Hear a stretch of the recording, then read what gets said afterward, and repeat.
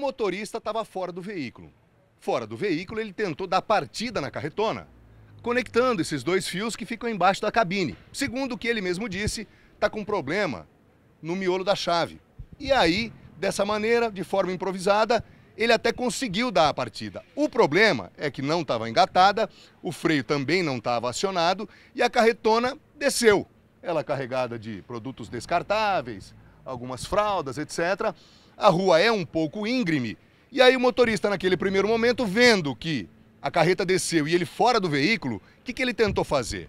Para não ser atingido aqui na parte da frente, ele tentou dar a volta aqui na carreta para tentar chegar do outro lado, entrar na cabine e frear o veículo. Só que ele não conseguiu. E aí o estrago foi bastante considerável. Ela desceu aproximadamente 4 ou 5 metros, o suficiente para ganhar força e provocar todos esses danos em pelo menos oito veículos. E agora a gente vai detalhar para você. Dá uma olhada no Fusca, foi o primeiro atingido. O Fusca azul ficou bem danificado, mas muito danificado.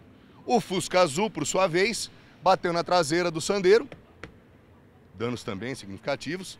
E aí o Sandeiro foi deslocado, prensou essa motocicleta pequena aqui contra a traseira do Gol. O Gol, por sua vez, também foi deslocado, prensou essa outra motocicleta aqui na traseira do, do Peugeot. E aí o Peugeot acabou atingindo também a traseira aqui do desse carro vinho, que por sua vez acabou atingindo a traseira aqui da Saveiro. Pelo menos, vamos contar, um, dois, três, quatro, cinco, seis, sete, oito veículos atingidos. Todos eles estavam estacionados no momento em que a carreta desgovernada os atingiu. Não houve impacto no trânsito aqui nessa rua do Distrito Industrial 2, no extremo norte da cidade de Bauru. Evidentemente que essa situação chamou demais a atenção das pessoas que trabalham por aqui. E aí todo mundo está nesse momento acompanhando o trabalho da polícia, não houve, repito, nenhum tipo de, preju de prejuízo ao trânsito. Porém, a partir de agora, tudo vai ter que ser decidido, tudo vai ter que ser resolvido. Por sorte, apenas danos materiais.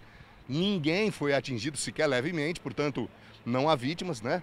Apenas os danos materiais. E agora tudo isso está sendo resolvido. Qualificação das pessoas, o motorista, ele não quis gravar a entrevista, está sendo qualificado, os dados do veículo também, todos eles sendo colhidos pelos policiais militares, até porque, a partir de agora, evidentemente que oito pessoas tiveram prejuízos mais a carreta, seriam nove pessoas lesadas em razão desses danos.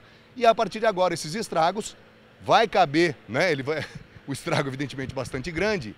E aí as pessoas lesadas vão ter que resolver como é que vai ficar a questão do seguro, se tem seguro ou se não tem, para que, especialmente as pessoas que tiveram os carros atingidos, elas possam ser ao menos ressarcidas. Mas essa é uma outra história. Um acidente com características de engavetamento aqui no Distrito Industrial número 2, no extremo norte da cidade de Bauru.